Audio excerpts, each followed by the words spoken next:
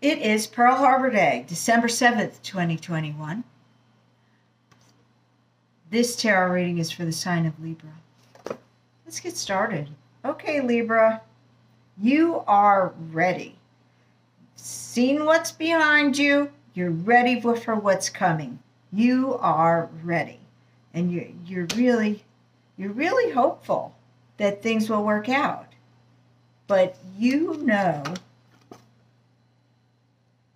it'll be fine because you feel comfortable in your skin.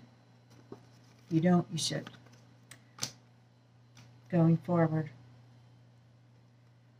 The master of the coin is here, so maybe this has to do with work. There's a lot of coins in this.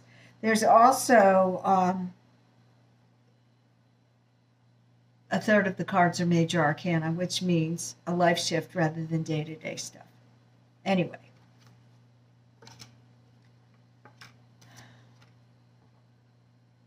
somebody's going to offer you a kindness, um, and it's financial. Possibly a severance package. I don't know. Going forward, you are going to be juggling two things. You want to go with the traditional way, but you're also thinking, you know, it might be something fun to bust a move, do something completely different.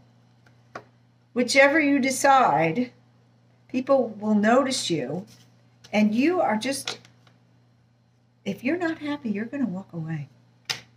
Good for you. I hope this is helpful. Please like, comment, and subscribe. We'll do it again next week. Thanks for watching.